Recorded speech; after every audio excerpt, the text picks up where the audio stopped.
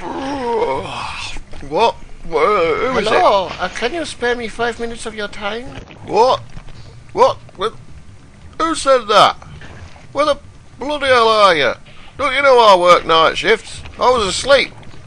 Where are you?